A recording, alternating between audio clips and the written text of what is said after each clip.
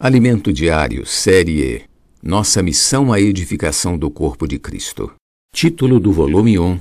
Deus escolheu você. Autor Pedro Dong. Título da semana 2. Bênção espiritual nos lugares celestiais. Quinta-feira, ler com oração Atos, capítulo 20, versículos 19 e 20. Servindo ao Senhor com toda a humildade, lágrimas e provações que pelas cidades dos judeus me sobrevieram, jamais deixando de vos anunciar coisa alguma proveitosa e de vô-la ensinar publicamente e também de casa em casa. As lições aprendidas com o apóstolo Paulo. O livro de Atos não relata com detalhes o que Paulo fez enquanto esteve em Éfeso.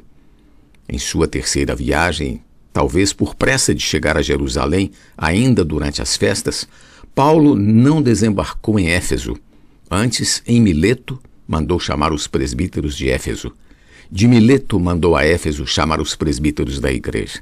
E quando se encontraram com ele, disse-lhes: Vós bem sabeis como foi que me conduzi entre vós em todo o tempo, desde o primeiro dia em que entrei na Ásia, servindo ao Senhor com toda a humildade, lágrimas e provações que pelas ciladas dos judeus me sobrevieram.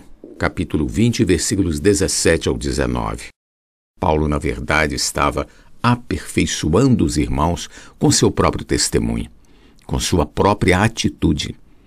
Ele esteve em Éfeso todo o tempo trabalhando com toda a humildade. Eis uma preciosa lição para nós que servimos o Senhor. Nós pregamos o Evangelho, saímos às ruas para orar com as pessoas, Cuidamos delas nas redes de cuidado, levantamos igrejas, mas em todo o tempo devemos manter a mesma postura do apóstolo Paulo, servindo ao Senhor com toda a humildade, lágrimas e provações. Esse trabalho de missionário que fazemos não é um trabalho fácil. Há muitas tribulações e sofrimentos. O Senhor, quando enviou os doze discípulos, disse que os enviava como ovelhas para o meio de lobos. Mateus capítulo 10, versículo 16. No Getsemane ele orou para que o Pai nos guardasse, pois estamos no mundo. Ele sabia que nós iríamos para o território do inimigo. Querido leitor, o mundo não nos receberá de braços abertos, mas as pessoas que Deus preparou, sim. Essas nos receberão e estarão abertas ao Evangelho. Por isso, não tenhamos medo. Avancemos no reino de Satanás para ganhar as pessoas. Paulo continuou dizendo aos presbíteros: Jamais deixando de vos anunciar coisa alguma proveitosa e de vô-la ensinar publicamente e também de casa em casa. Atos, capítulo 20, versículo 20. Aqui temos outra importante lição. Nós, como missionários, como pessoas que querem trazer o reino de volta, façamos tudo para o proveito dos irmãos, da igreja. Não seja aquele que se preocupa meramente em ser um bom orador com eloquência e frases de efeito. Todos nós precisamos trabalhar para o reino de Deus. Não trabalhe para exaltar a si mesmo. Nós estamos aqui para fazer a obra de Deus, para lhe dar frutos. Paulo nunca deixou de anunciar algo que fosse proveitoso à igreja em Éfeso e nós também devemos ter essa atitude. Não somos candidatos a um cargo político para ficar fazendo campanhas eleitorais e agradando o nosso público.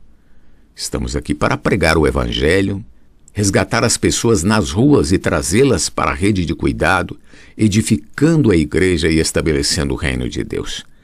Esse é nosso encargo. Não devemos buscar algo para nós mesmos, mas apenas aquilo que é proveitoso para a igreja e para a obra de Deus. Assim fazia o apóstolo Paulo, que além de anunciar a palavra na escola de Tirano, ensinava os irmãos de casa em casa. Ele não perdia nenhuma oportunidade de pregar e ensinar a palavra. Precisamos ter um tratamento mais pessoal uns com os outros. Ultimamente tenho tido comunhões maravilhosas com a liderança de várias regiões.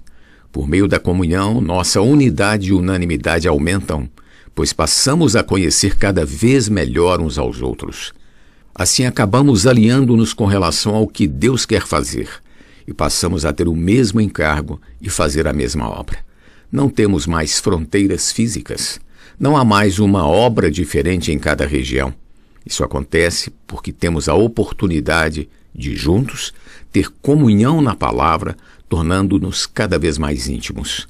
É como Paulo, que tinha esse relacionamento pessoal, de casa em casa com os irmãos, e também ministrava a palavra publicamente na escola de Tirano, o que fazemos nas reuniões ministeriais e conferências. Sigamos as lições e o modelo deixados pelo apóstolo Paulo, produzindo assim frutos para o reino de Deus.